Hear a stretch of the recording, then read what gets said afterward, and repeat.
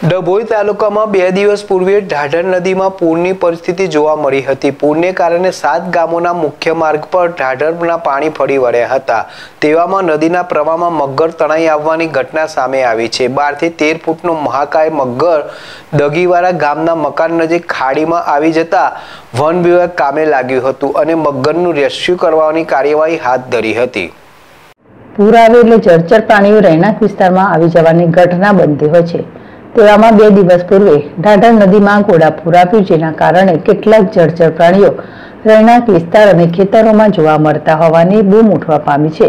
ત્યારે ગત રોજ એક બારથી તેર ફૂટનો મહાકાય મગર ડભોઈ તાલુકાના ડંગીવાડા ગામના એક મકાન નજીક આવેલ ખાડીમાં જોવા મળતા સ્થાનિક રહીશો દ્વારા ડભોઈ વન વિભાગ અને નેચર સેવિંગ ફાઉન્ડેશનને જાણ કરી હતી, જે આધારે એનએસએફ ટીમ વન વિભાગ દ્વારા મગરનું રેસ્ક્યુ કરવા કાર્યવાહી હાથ ધરવામાં આવી છે, પરંતુ અંધારાનો લાભ લઈ મગર સ્થળ ઉપરથી પલાયન થયો હોય. મગર રેસ્ક્યુ કરવામાં સફળતા મળી ન હતી. વન વિભાગ દ્વારા કાર્યવાહી યથાવત રાખવામાં આવી છે. વિજય બારોટ, જેડેશ ટીવી, ડભોઈ.